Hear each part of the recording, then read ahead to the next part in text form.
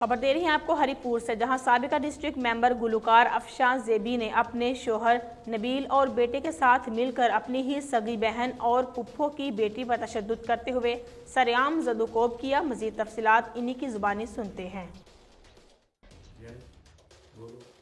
असलकुम मेरा नाम शला है। मैं अफशा जेबी की कज़न हूँ और मारवी के साथ में भी थी। हम जिरगी के तौर पे कुरान पाक लेके उसके घर गए हैं जिसकी वजह से उसने अपने हस्बैंड को कॉल की है। उसका हस्बैंड आते ही और मुझ पर तशद की है मुझ पर और मारवी पे। यह आप देख सकते हैं। डीएसपी से और आईजी से मेरी दरख्वास्त है कि हमें इंसाफ दिया जाए। जी। अस्सलाम वालेकुम मेरा नाम मारवी जोजा इमरान है। अफशन जेबी जो हैं वो मेरी बहन लगती हैं। मेरे कुछ दिनों से उनके साथ घरेलू तनाज़े चल रहे थे। तो मेरे अबू बहुत ज़्यादा बीमार थे।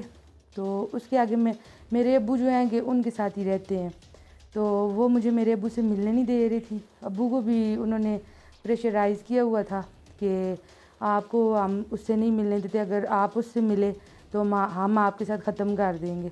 तो मैं, मैंने उनसे, उन्होंने रात को मुझे, मेरी बहन ने मुझे मैसेज वगैरह किए हैं। गाली गलोच भी किए, लेकिन मैंने फिर भी उनके आगे हाथ ही जोड़ें कि आप मेरी बहन हैं।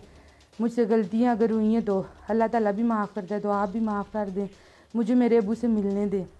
लेकिन उन्होंने बहुत ज़्यादा शोर शराबा किया। फिर उन्होंने मुझे बोला कि, सही है, आप हमारे घर आओ। मैं इधर से अपनी फुफो और फुफो की बेटियों को साथ लेकर गई थी। साथ लेकर गई थी आगे जब अफशा देवी बैठी हुई थी तो उन्होंने अपने हस्बैंड को बुलाया, अपने बेटे को बुलाया। उन्होंने हमें बहुत ज़्यादा मारा मेरे ऊपर बहुत ज़्यादा तशद किया है मुझे घसीटते रहे हैं। और ये मेरे कपड़े भी जो हैं उन्होंने फाड़ दिए पूरी गली में मुझे उन्होंने घसीटा है घर से घसीटते घसीटते बाहर निकाला है। साथ में मेरी पप्पो की बेटी थी उस पर भी बहुत ज़्यादा तशद किया है उसको भी मारा गया है। नबील जो अफशान जेबी का शोर है नबील और उसका बेटा एसन अली सनी सनी बोलते हैं उसे। उन्होंने बहुत ज़्यादा तशद किया है। हमारी अपील है डी पी ओ साहब से और डी आई जी हज़ारा से, हमारी वज़ी अला खैबर पख्तूनख्वा से कि हमें इंसाफ दिया जाए। हम गरीब, बहुत ज़्यादा तशद किया है उन्होंने।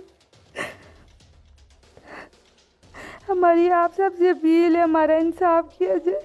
मेरा आखिर कसूर क्या था? जी जी दरख्वास्त दी। अभी तक उन्होंने भी कोई एक्शन नहीं लिया।